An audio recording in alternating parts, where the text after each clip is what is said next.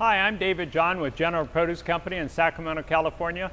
You know, we're blessed with so much local fruit around here and different vegetables that we can experience. Sometimes it's just fun to travel around the world, see some other products that are coming into the U.S., and experience some different flavors.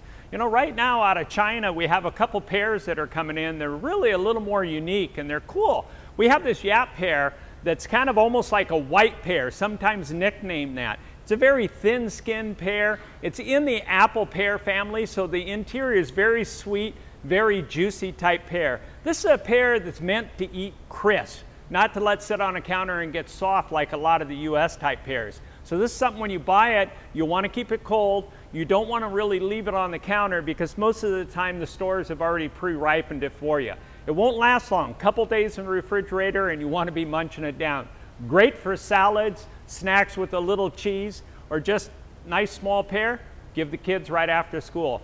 But cool flavors to it, a little bit different than the pears you're used to here. Then the other one we have out of China is a fragrant pear. Now it's a little hardier. This one will make um, a softer meal, so you can set it on to the counter, let it ripen more like a US type pear. Also very sweet, but not as tender, a little hardier in its skin. Sometimes you'll peel that, especially if you go into a salad, but sweet, a little milder, not as juicy. So this will work better with cheese or something along that. For the adult night, a little wine, cheese, you want to try the fragrant pear. Now we're going to keep traveling around a little, and something you've probably seen a lot is the star fruit. Now star fruit actually comes wrapped, like many of these things. Even the ya pears are all wrapped to protect them as they're coming in. And this is just to keep them from getting scarred. So when they come out of the packaging, you're going to see this yellow and green, sometimes a little heavier green, but you're looking for almost a brownish color. As they start to ripen, they'll get very brown. What you want to do is cut with the knife the edge right here. Just take it real thin right off the edge, and then when you cut it, you'll cut it just in slices where it makes just a beautiful little star. Nice on a plate, looks very attractive.